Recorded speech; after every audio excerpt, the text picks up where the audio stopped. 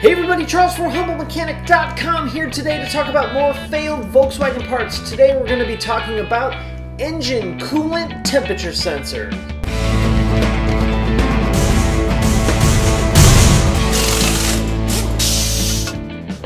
So today we're going to be talking about one of the parts that I've probably replaced more of than any other part that's not a maintenance part in my Volkswagen career, and that's the engine coolant temperature sensor. But before we get into the show, let's talk about the sponsor of the day, which is Deutsche Auto Parts. These guys are the Volkswagen Audi parts experts, awesome service, incredible pricing, a ton of really great DIY videos. So check them out at shopdap.com. So what the heck is an engine coolant temperature sensor anyway? Well, like a lot of other car parts, if you look at the name of what it's called, it tells you exactly what it does. It's a temperature sensor that monitors the temperature of your engine's coolant. You may also see it referred to as a CTS or a coolant temperature sensor, but for the show, I'm going to be referring to it as an ECT, engine coolant temperature sensor, because that's what I've always referred to it as. And when I read the acronym CTS, I always have to stop and think, what the heck is a CTS? And like I mentioned, I've replaced tons of these sensors. This is actually the very first time I've cut one open to take a look at what it looks like inside. So how do the engine coolant temperature sensors work? Well, inside the housing is something called a thermistor. It's basically a thermostatic resistor. So as temperature changes, the resistance value changes. In this case, it's an NTC, or negative temperature coefficient thermistor. So as temperature goes up, resistance of the sensor actually goes down. The values are then sent to one of the computers, either the ECM or the instrument cluster. They're interpreted by the computer and then represent a temperature value. So at every temperature, there's a given resistance value. We also have a few different styles that we're looking at. Some are 4-pin, others are 2-pin. It doesn't really matter whether it has 2 pins, 4 pins, whether the connector's square or rounded on one side. They basically all work the same. On the ECTs that are four pins, there's one sensor that sends a signal to the ECM and to the instrument cluster. On the two pins, that's actually a CAN bus signal from the ECM to the cluster. So how does an ECT fail? Well, first off, it can leak. It can leak from the seal that sits in the housing, or it can actually leak from where the plastic meets the brass there is a tiny seal, it can leak from that seal. It can also leak in a very unhappy way, and that's through the electrical connection. And I've actually seen that cause coolant migration, where the coolant will come up through the sensor and go all through the wires and make a very, very unhappy vehicle, and in turn, a very unhappy customer. But a more common way that they fail is a broken connection inside of the sensor. As you can see here, there's a lot of little connections inside this sensor, and at any weak point, that can be a failure. And that can either cause a static problem or an intermittent problem. Typically, we don't see ECTs reading incorrectly. They either work or they don't work for the most part. You could also have a coolant issue causing corrosion or some sort of buildup on the brass portion here, and that may impact the ability for the ECT to read. When it comes to symptoms of failure, there's not a ton, but I have seen some ECTs do weird things.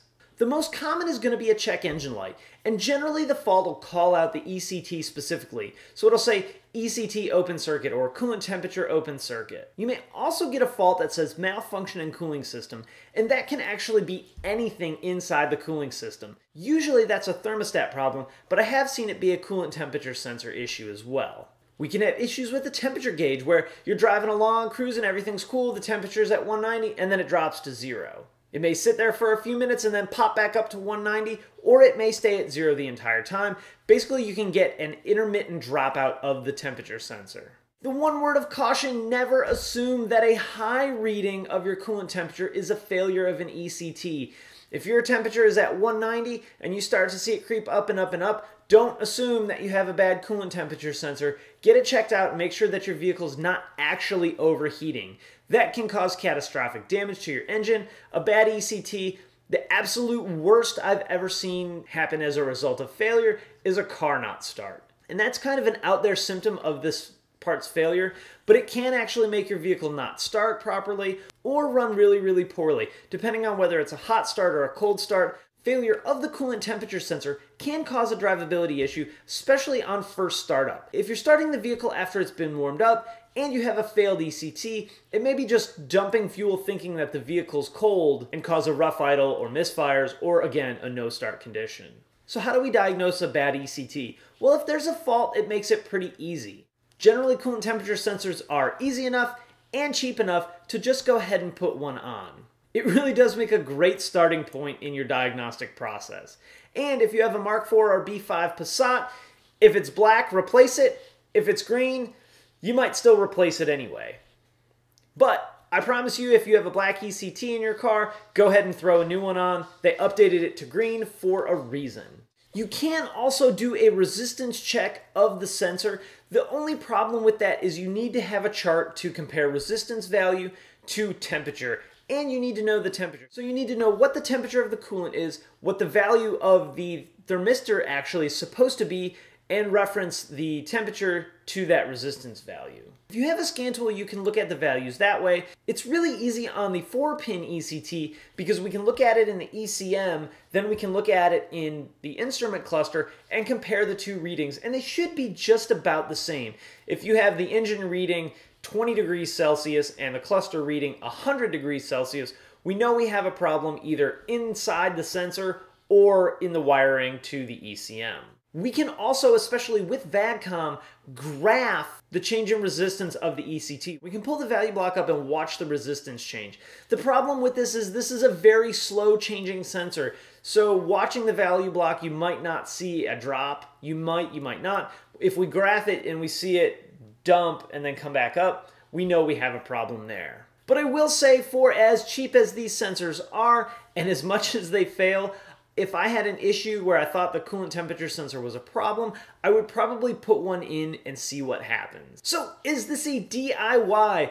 I would say about 70% of the time, this is a very easy DIY, especially on the older generation vehicles where they did fail more often than the new stuff.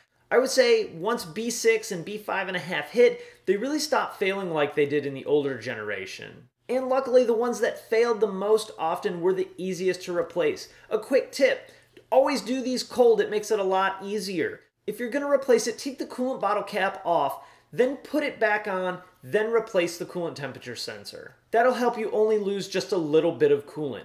Also, if you're going to replace this, always replace the clip and always replace the seal to prevent any leaking in the future. Alright guys, I'm going to wrap it up there. If you have any questions or comments, post it in the comments section below. Hey, if you got a part you'd like me to do a video on just like this, shoot me an email to charles at humblemechanic.com and put failed part in the subject. So if you like the video, throw it a thumbs up on YouTube. You can also subscribe on YouTube or on the blog at humblemechanic.com. You can follow me on Facebook, Twitter, Instagram, the blog, and obviously on YouTube. Alright everybody, thanks for watching and I will see you next time.